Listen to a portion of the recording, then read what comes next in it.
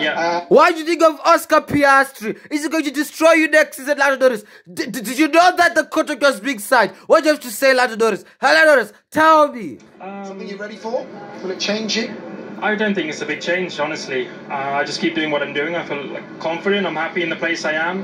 Um, I look forward to working with someone new. It's always different, you know. You have to talk in different ways and understand each other differently. But um, yeah, it's also going to be a big challenge for me and a new challenge for me and the whole team. So we look forward to it.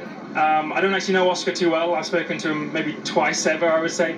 Um, but he's obviously a, a good talent, a good driver, and, uh, and I look forward to that. But that's still uh, half a year away, away. Yeah, yeah, yeah. Already playing the mind games, aren't you? Don't give anything away. What, what's the What mind games? What are you talking about? He doesn't even know the guy. Ah, poor Rasta. This guy, I'm going to see how people don't like him. And you know what? His random comments are questionable. Like mine.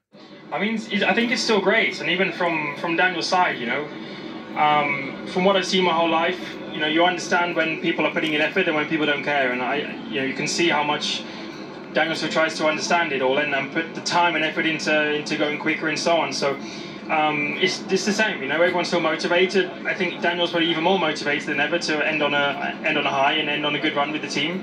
Because Because he wants an F1 seat next year. But still, that motivation must be commended. He could just give up and go home to LA. P10 and P12, it's not where you want. Um, but there are still these glimpses of this is where we can be if we just do some little things better. And uh, I'm confident in the future we can do that. Well done, Lando. Best of luck tomorrow. Thanks for talking to us. guys. and